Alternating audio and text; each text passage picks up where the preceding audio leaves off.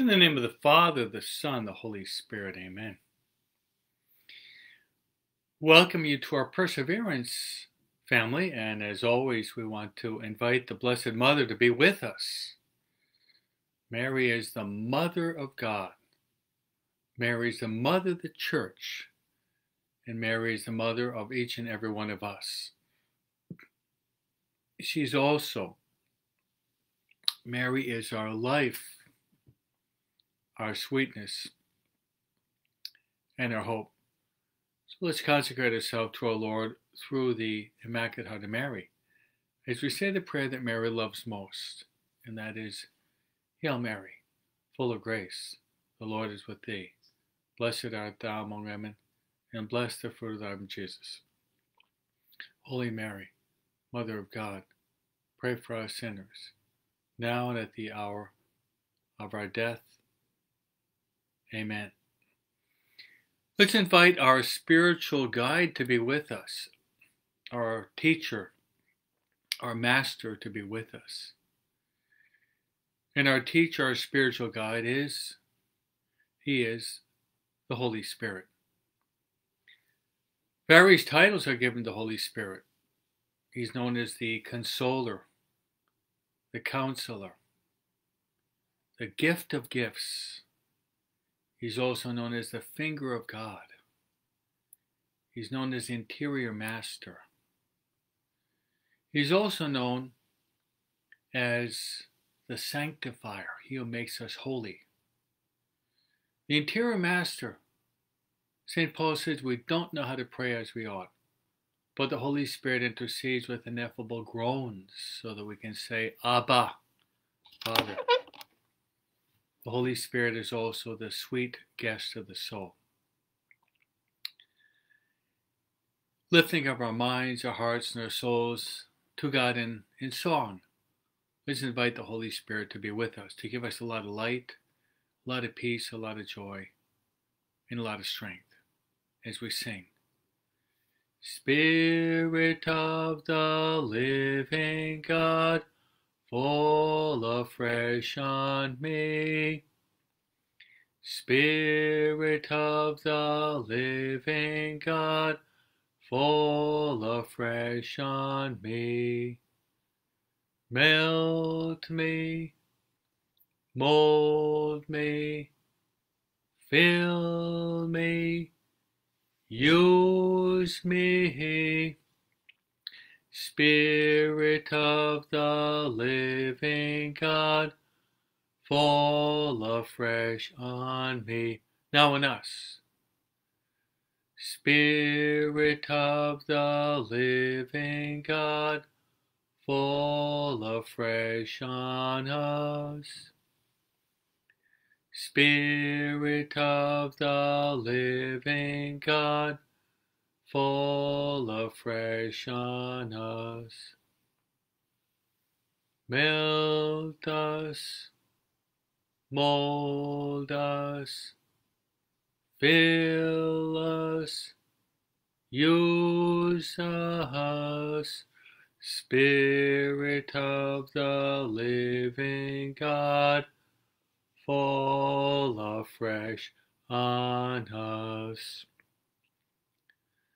fall afresh on us. fall afresh on us. Our Lady Guadalupe, pray for us. Saint Joseph, pray for us.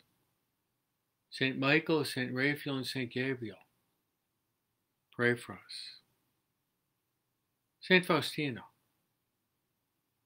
pray for us.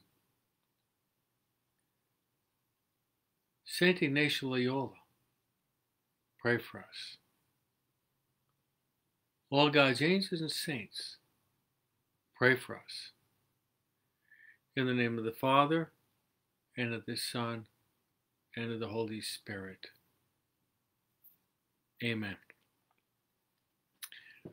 Good morning to all of you. Before we enter into our topic, I'd like to talk about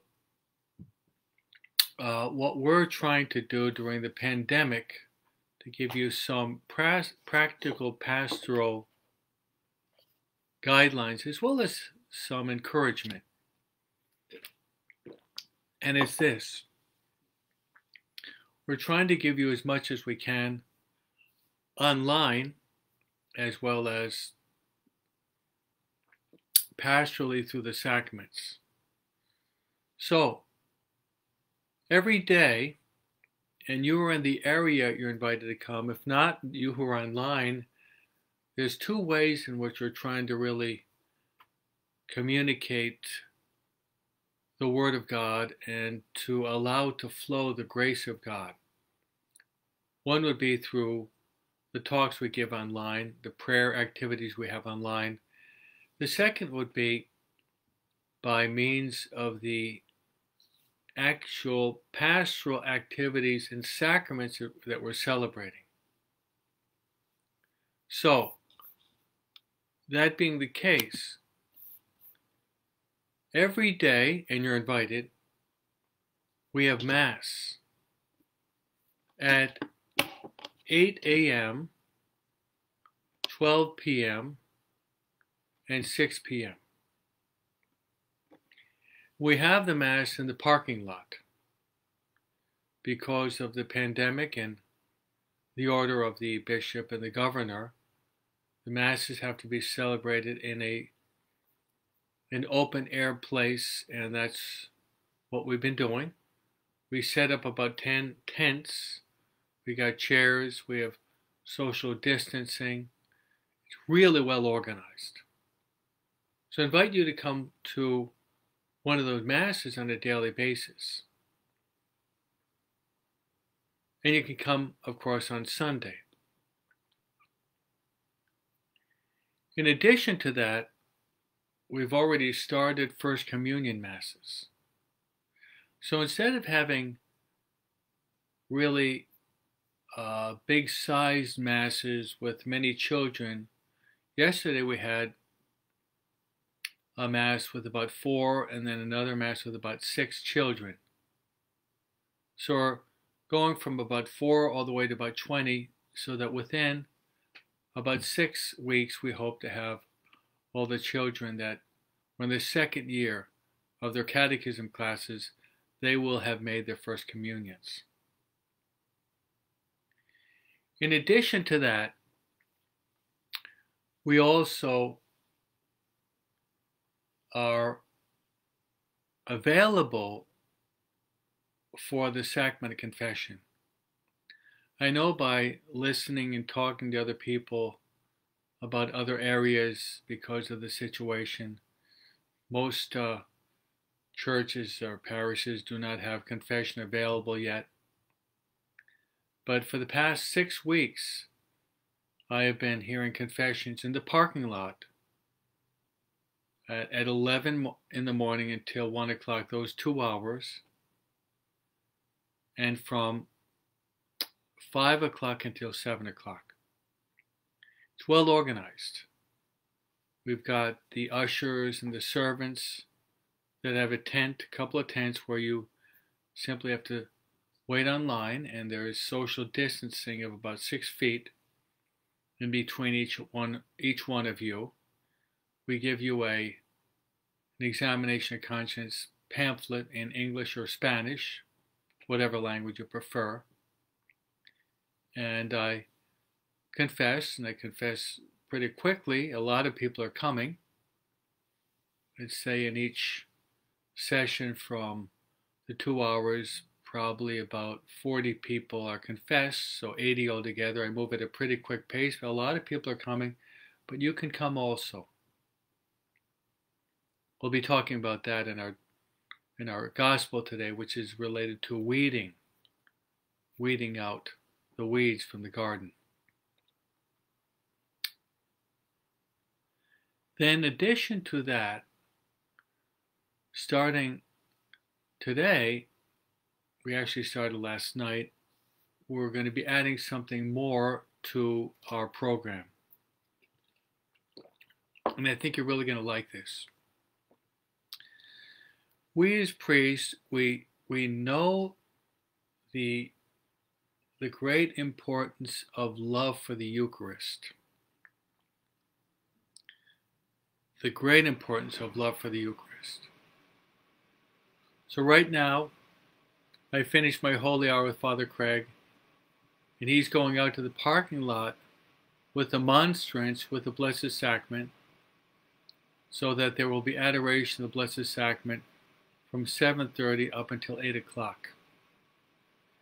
Then at 11 o'clock, right before I hear confessions, I will be exposing the Blessed Sacrament in the out, outdoor altar for two hours. I'm sorry, one hour, from 11 to 12, and then from 5 to 6. So once again, we're going back to Eucharistic adoration, half hour before the 8 o'clock Mass, an hour before the 12 o'clock Mass, and an hour before the 6 o'clock Mass. So we expose the Blessed Sacrament in the, in the monstrance so that you have an opportunity. You have an opportunity to adore and worship the Blessed Sacrament. We're trying with great effort to offer you as much as we possibly can. Now, many of you on in our perseverance family are out of state, maybe not even in the country. We'd just like to go through the various programs that we offer to you online. To kick off 7:30, the family meeting that we have every day at 7:30 is basically focused upon helping you to get to know better the Word of God, which I try to explain the first reading of the gospel of the day. Then after I finish, you have posted on Facebook as well as my website, you've got points for meditation. You got about two pages of wonderful points that Mary Martirana has been working on, helping me to enrich our perseverance program. Invite other people to come. Share this with your friends.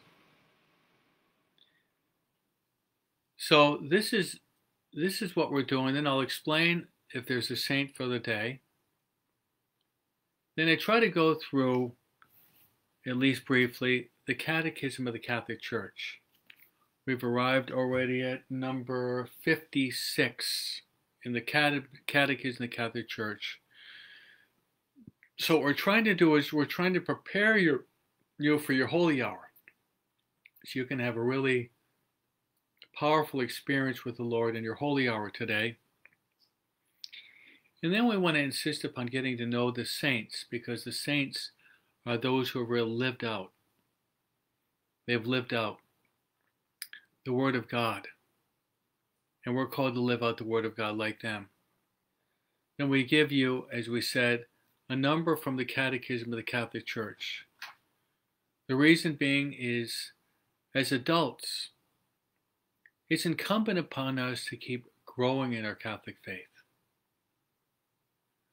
I've made this comment before and I'll repeat it again.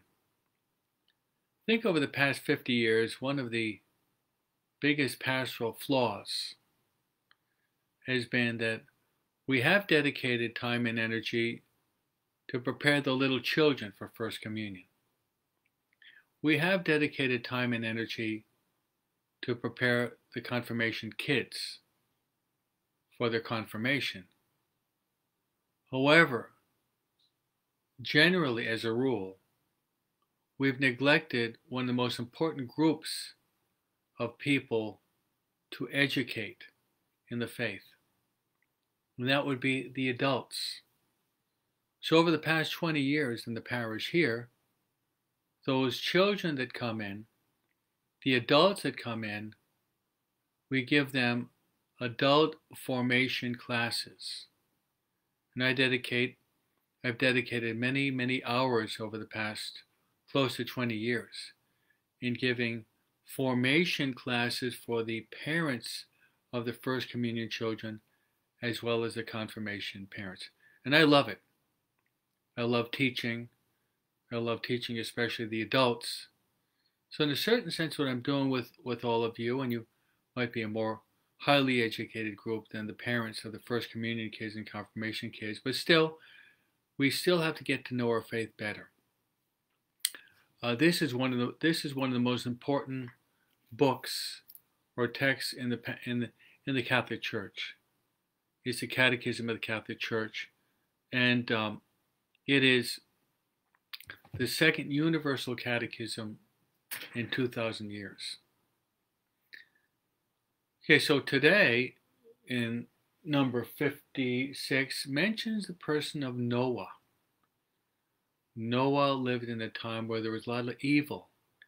God told Noah to build an ark. Noah entered in the ark with his, with his children and his wife. God sent down a deluge, destroying all the people. All those who were in the ark were saved. The ark of Noah is symbolic of the church, and the ark of Noah is symbolic of the Blessed Virgin Mary. We want to seek refuge in the church which is the mystical body of Christ. We want to seek refuge in the Blessed Virgin Mary too. So that's number 56 of the Catechism of the Catholic Church that speaks today about the person of Noah and what happened in the book of Genesis. There was deprivation and God sent a chastisement. So let's go back to our, our, our programs. So we mentioned the masses and the confession in the parking lot. Online, we offer you this program, invite you to come, and tune in live at 7.30. If you're too busy, you can go back into the archives and you can listen to this program again. And all of this is gratis, free of charge, how good God is. All this is free of charge. And the only thing he asks is pray for me and I'll pray for you. As I do. I place you on the altar of my masses that God will give you many graces. Then at 9 o'clock, I give another perseverance class. Then I give it in Spanish. And often it's the main, basically the same theme, but I'll, I'll change some ideas. Then you'll have posted the readings for the day that you can do. Either that or you can do the readings of the day from a Magnificat. This is uh, what I suggest, or your, your daily Roman Missal. Then what we have is at 10 o'clock in the morning, I celebrate the first online Mass, knowing that still many people can't make it to church. So I have my technological experts that are able to transmit live for you people the holy sacrifice of the Mass. Now, it's not the same thing as going to Mass in person, but God understands. If you can't make it to Mass because of many many reasons, justifiable reasons. Try to follow the Mass online. And we mentioned this year uh, uh, er, earlier on during the pandemic. Try to make a spiritual communion. Try to make a spiritual communion. You can make as many spiritual communions as you like.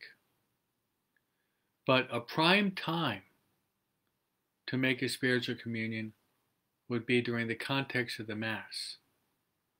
Most specifically, when I'm receiving Holy Communion, sacramentally, you make a spiritual communion. As such, Lord, I believe that you're truly present in the Blessed Sacrament, in your body, blood, soul, and divinity. I cannot receive you now sacramentally, but I want you, I receive you spiritually into my soul. I love you, I adore you, worship you. so the Lord Jesus Christ enters into your heart spiritually. And he will communicate to you many graces. So there at 10 o'clock, we have the online Mass. Then I go outside and I expose the Blessed Sacrament at 11 o'clock. From 11 to 1, you have confessions. Going back to online. At 2 o'clock, over the past three months, I initiated a new program. And this is called the Ignatian Forum. Given that our charism is Ignatian, and we're striving to promote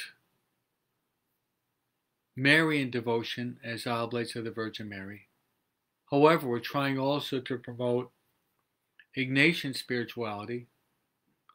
I have formed a forum, and it's a group of three of us myself, Eric, and Mary. And we are we, we, we invite guests. Yesterday we had Father Craig. Today we're going to have Father Larry. Wednesday we'll have my younger brother Jim again. He was on about six weeks ago. He'll be coming back again. And the following week I'll have my younger sister, Mary, who will probably be talking about natural family planning. She's a mother of eight children in New Hampshire. So I'm trying to enrich this uh, program by inviting guests to be with us in person or we'll, we'll make a phone call to New Hampshire or Florida, wherever they might be. And people are really getting a lot out of this forum, what they're telling me. So this is at 2 o'clock. The forum lasts an hour. So if you can, tune in to our forum. We invite you to get to know Ignatian spirituality. Yesterday we had a very lively conversation on in which I asked Father Craig, Mary, as well as her, what is your favorite biblical passage? And what is your favorite biblical chapter? We had a lively discussion on our favorite chapter and our favorite verse. We're going to follow up on that today with Father Larry. What is your favorite Bible passage? Your favorite chapter? What is your favorite Bible passage? What is your favorite Bible chapter?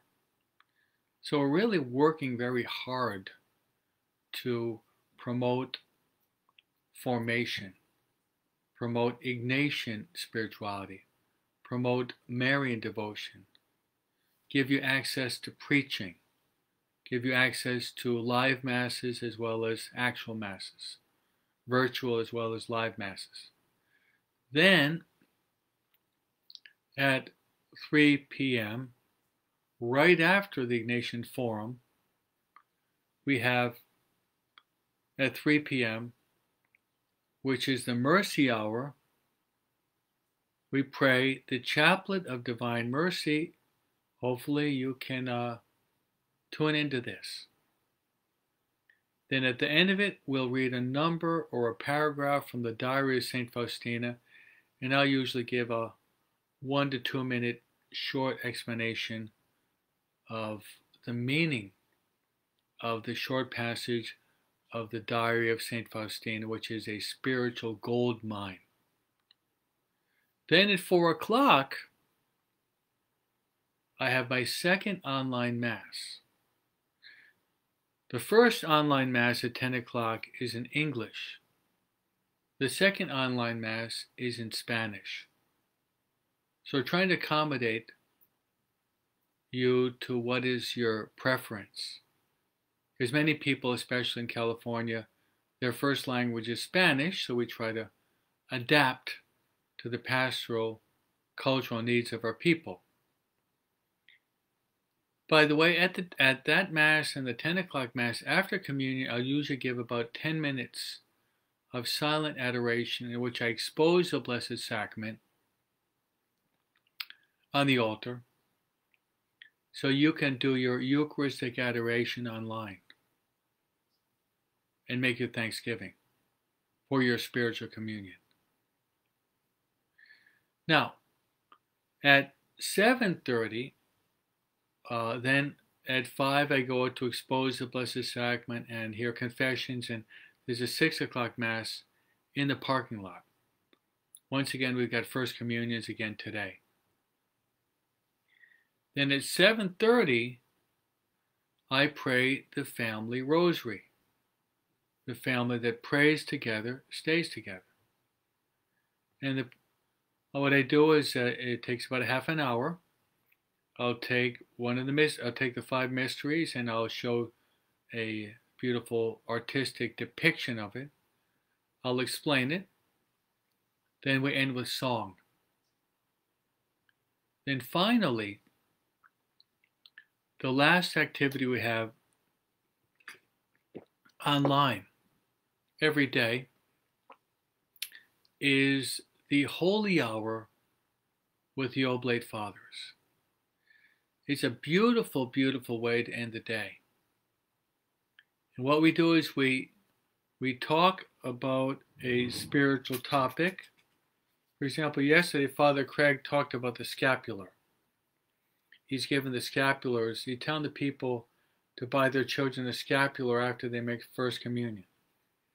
And he spoke about the scapular, the origin, and a couple of miracles among many that are attributed to those who wear the scapular with faith. The scapular is the external sign of our consecration to Mary.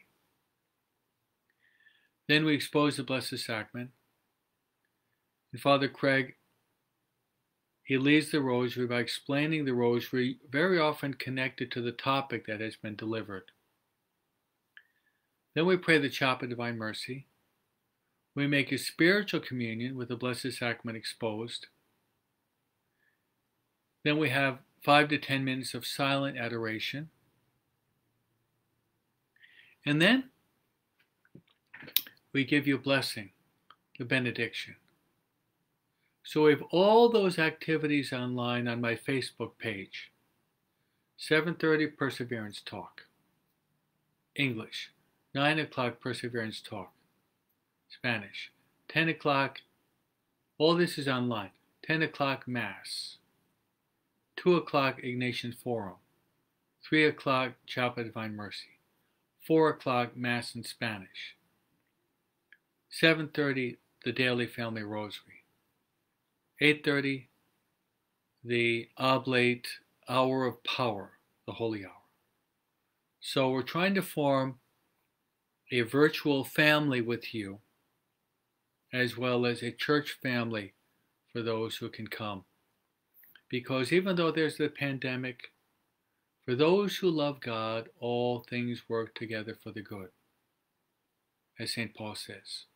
For those who love God, all things work for, together for the good. So take advantage of all these opportunities. Some people are complaining about but the pandemic and falling into discouragement. Others say it's a blessing because they say it's a blessing because it's been an opportunity because of the enclosure to pray more, to meditate more, to bond with your family members, to reflect more, to, to reflect more upon the reality of our lives, why we're really here.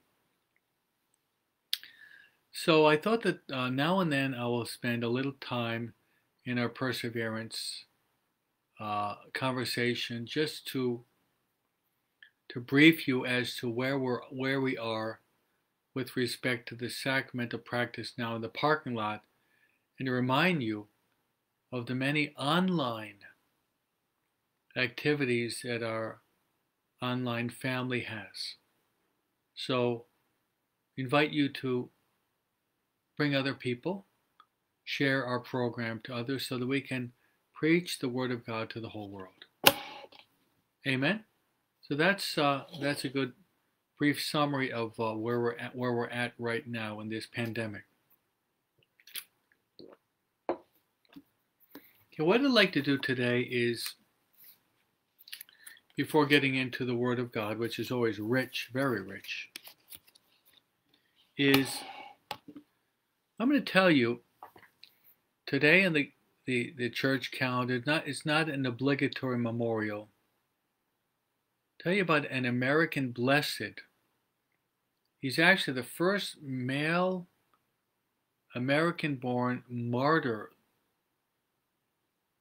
in the Catholic Church in the States. So I'd like to just briefly tell you about this saint and pray to him. Then we'll go into the Word of God. Today, we celebrate Blessed Stanley Rother.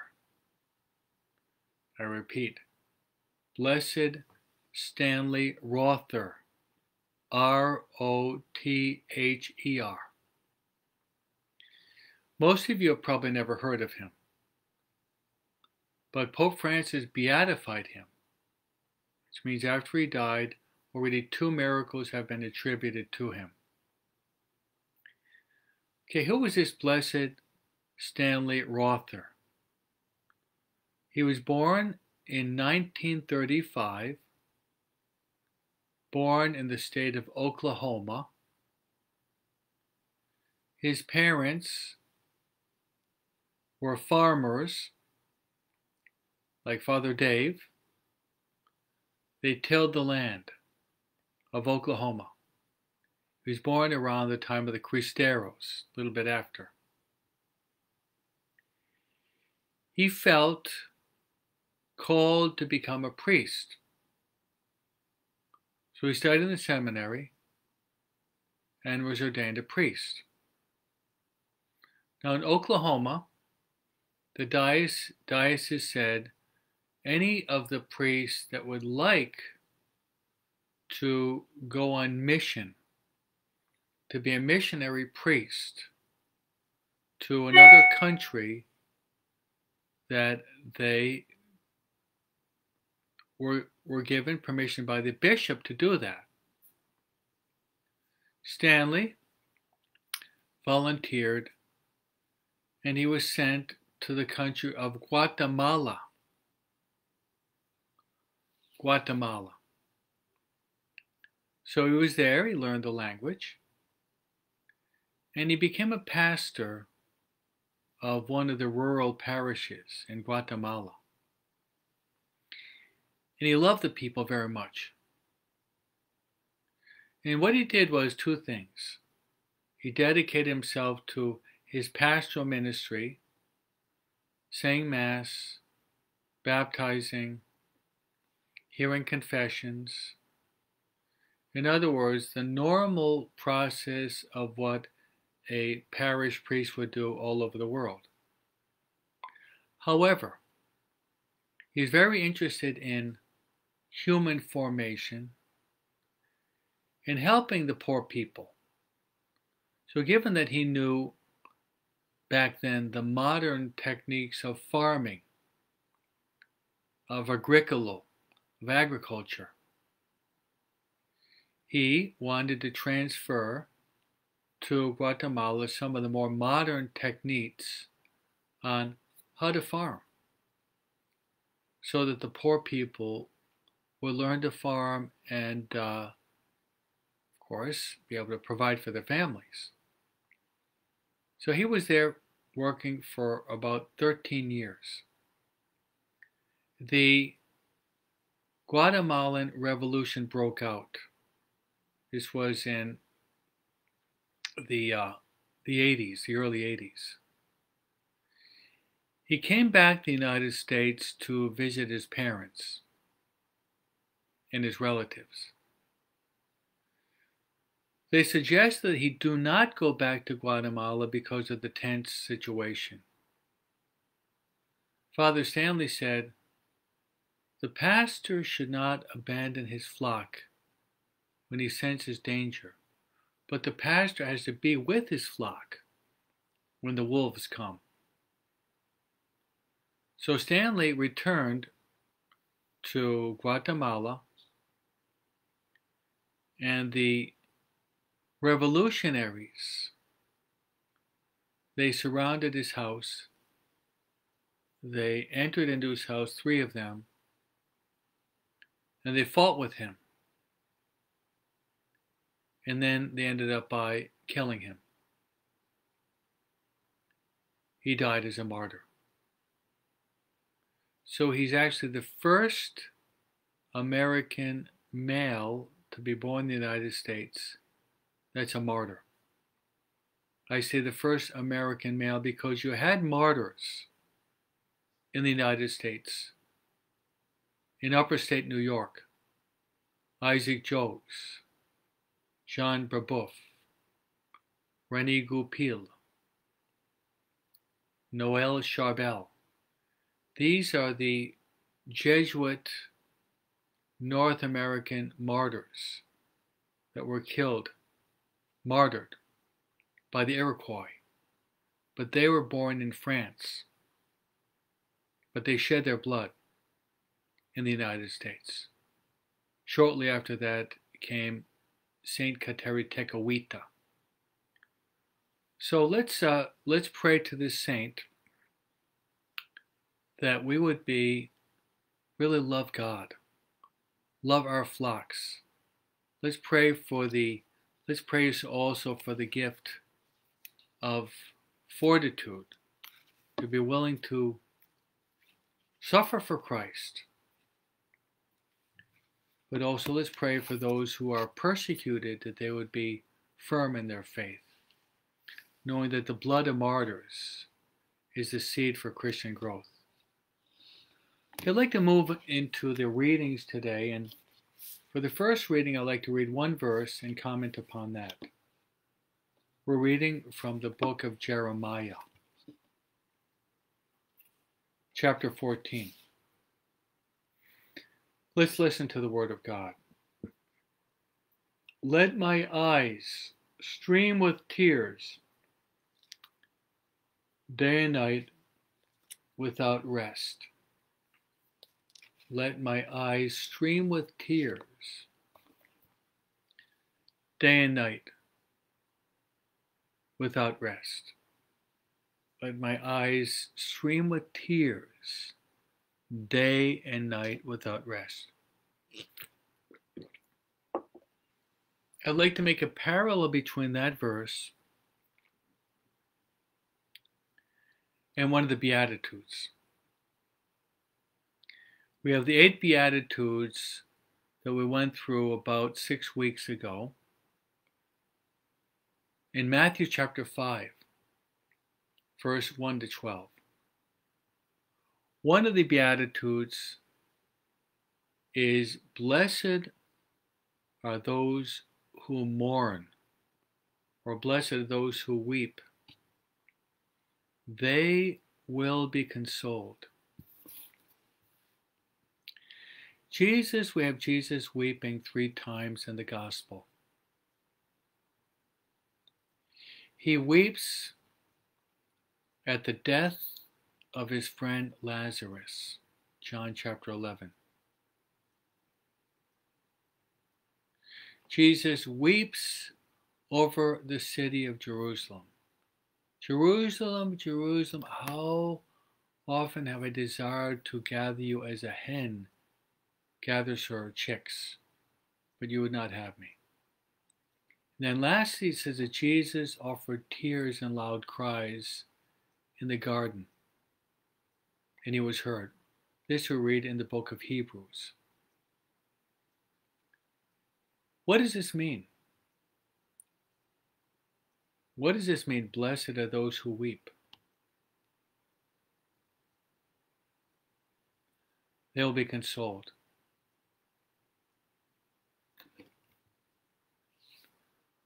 Well, this weeping can be interpreted in many ways. But especially, it's a weeping of copious tears. for our sins, as well as the sins of our family, the sins of our people, the sins of our nation, the sins of our country. The sins of the world. Tears poured forth of sorrow for sin. It's a sign of our desire of reparation and repentance for the many sins that have hurt God.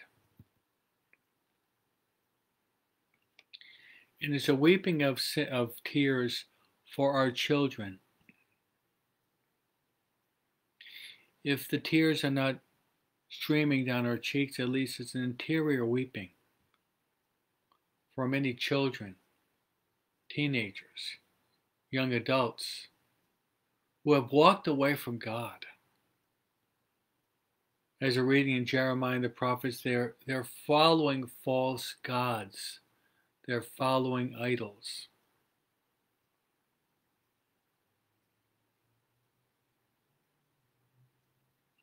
And one of the best examples of the, someone who really lived this out would be that of St. Monica. St. Monica, the mother of St. Augustine, her husband Patricius. We read in that classical text, the Confessions, that Monica went to the bishop of Milan and poured out her heart to the bishop. And she wept. And the bishop of Milan says, A woman who's wept so many tears, her tears and her prayers will be heard. And as a result of the tears of Monica, tears streaming forth from her eyes and her heart,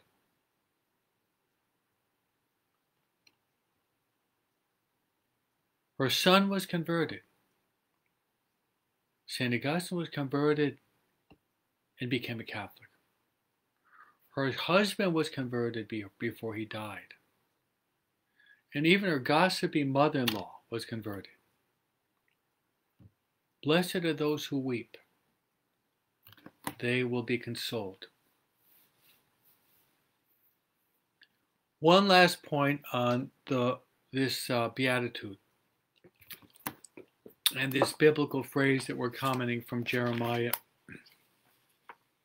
Let my eyes stream with tears day and night without rest.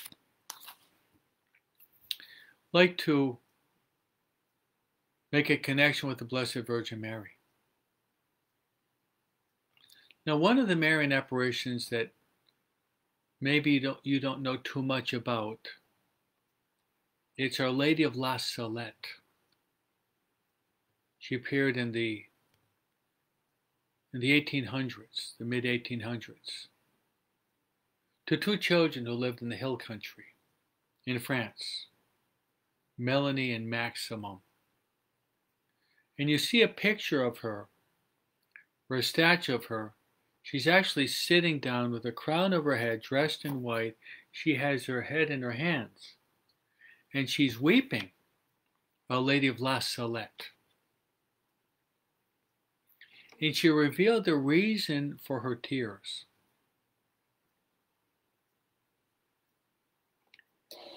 And they were for the sins of the people in France.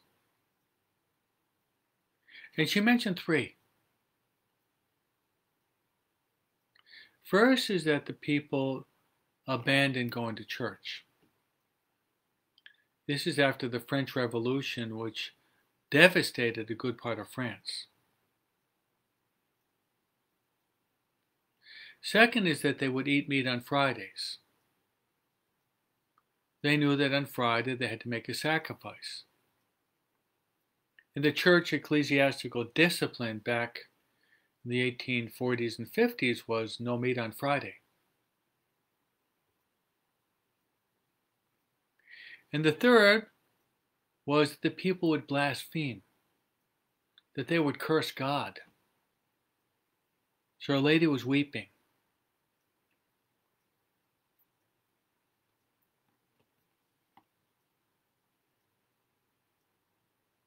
So, in a certain sense, we can say that Our Lady is weeping today. For many reasons.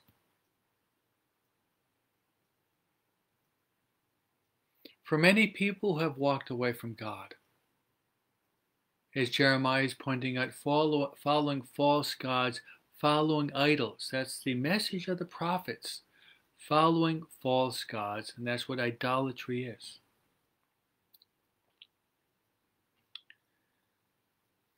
The second is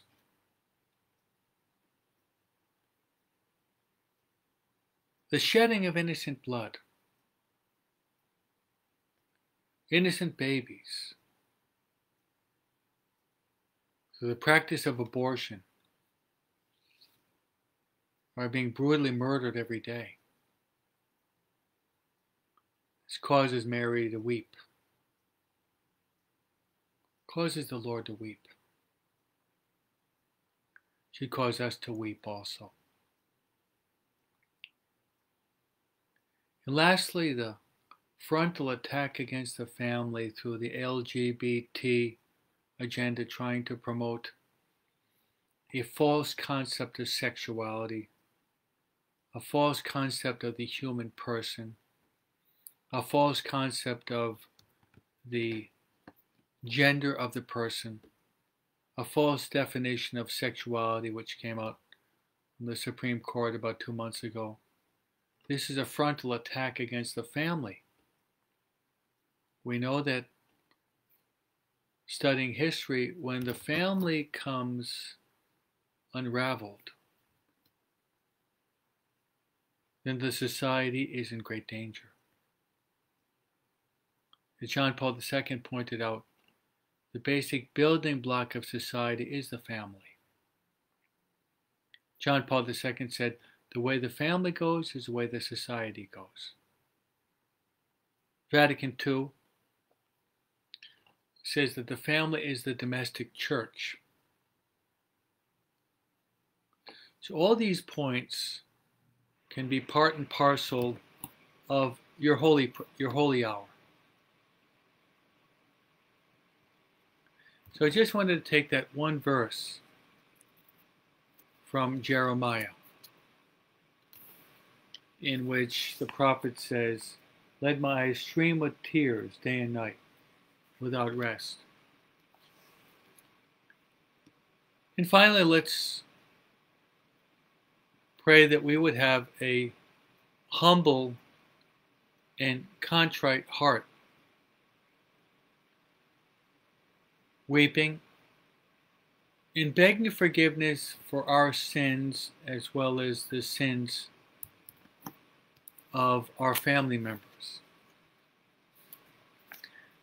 Responsorial Psalm says, For the glory of your name, O Lord, deliver us.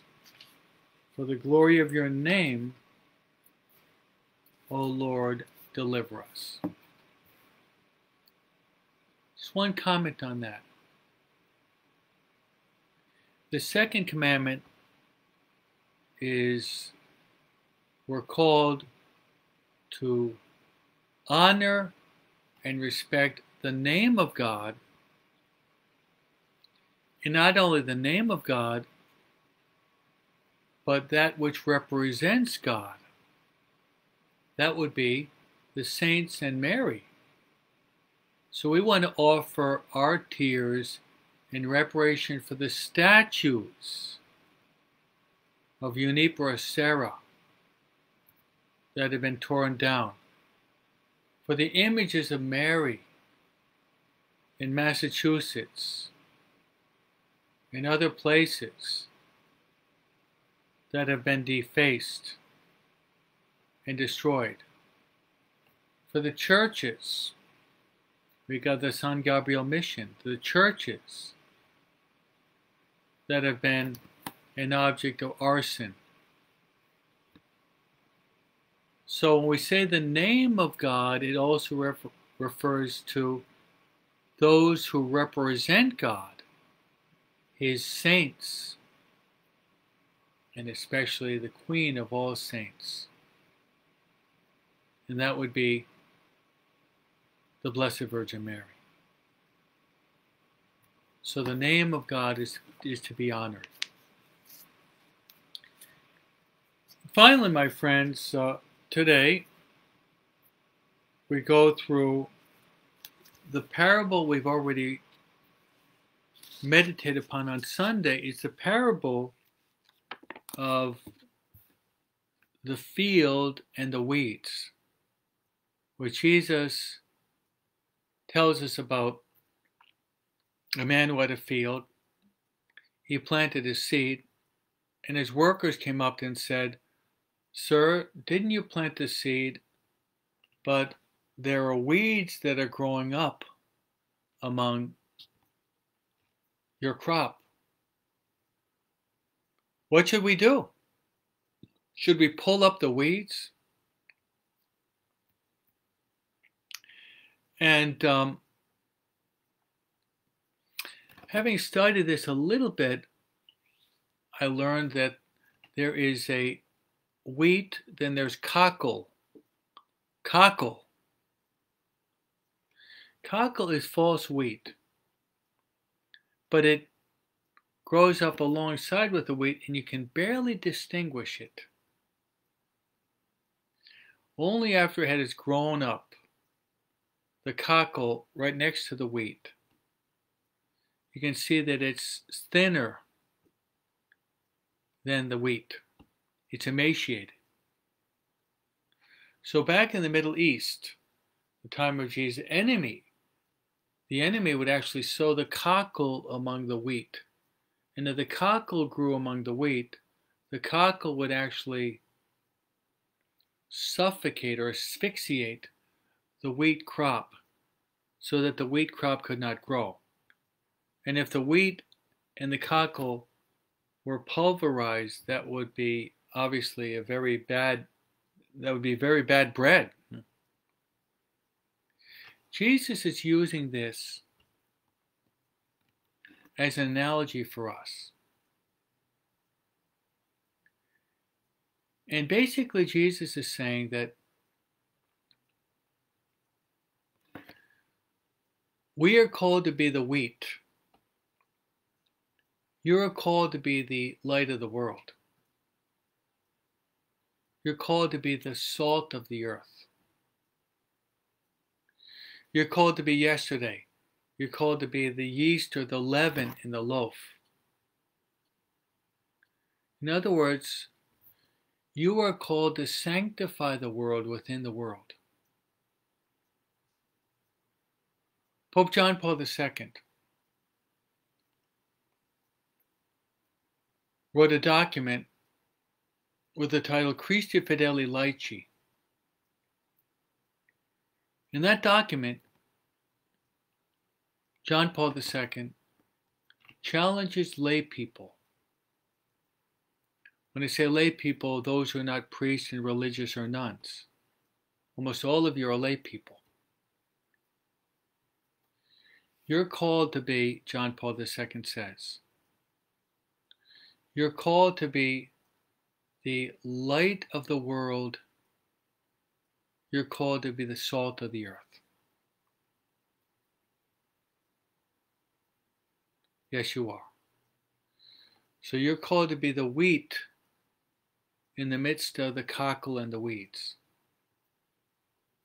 You're called to grow. You're called to flourish.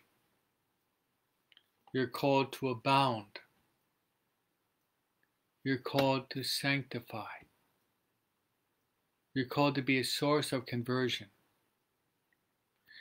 Because you, you cannot escape, most of you cannot escape from the world and live in a cave or hide beneath your bed. You can't do that. You're of the world, but not of the world, Jesus says. You can't hide from the world. But you're called to sanctify the world. And by your holiness of life, you can sanctify the environment. If you like an analogy, If you've got a pool at your house, to purify the water of the pool, you place chlorine. Chlorine is one of the chemical elements which is most efficacious to kill the bacteria that is present within your pool. You're called to be chlorine. You're, cl- you're called to be salt. You're called to be light in the world in which you live.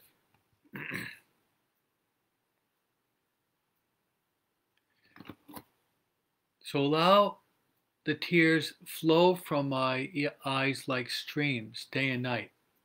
Jeremiah. Who lived that out and who really lived out being the wheat among the weeds? I just mentioned her. And that was St. Monica. St. Monica lived in an environment, there was a lot of cockle, a lot of weeds,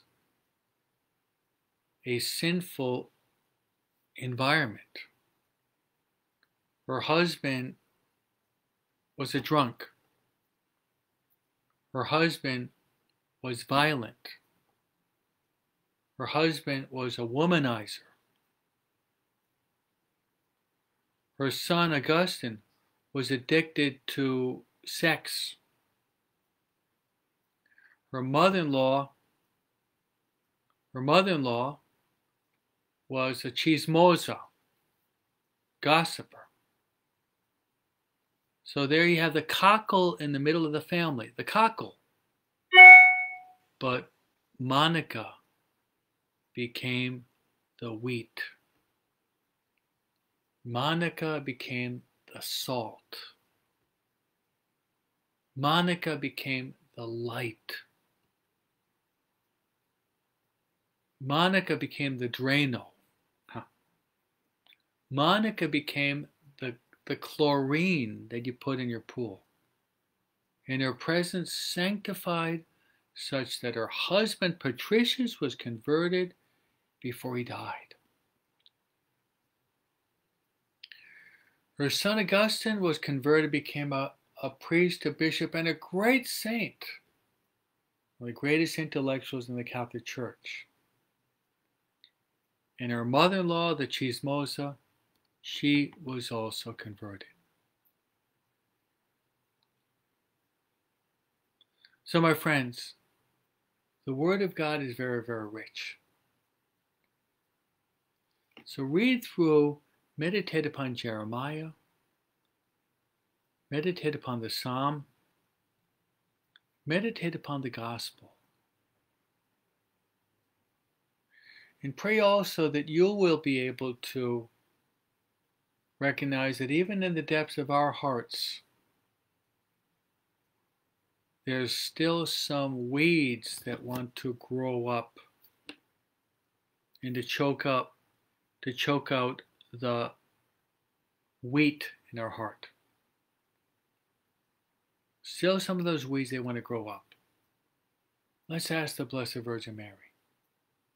Mary, most holy, who never committed one sin at all, that Mary will, through her prayers, help us to pull out those weeds so the flowers of God's holiness and purity and virtue can really grow in us and we will be able to be the salt of the earth. We'll be able to live out what Jesus says, You are the light of the world. So may God, may God bless you in a very special way. I'd like to give you my priestly blessing.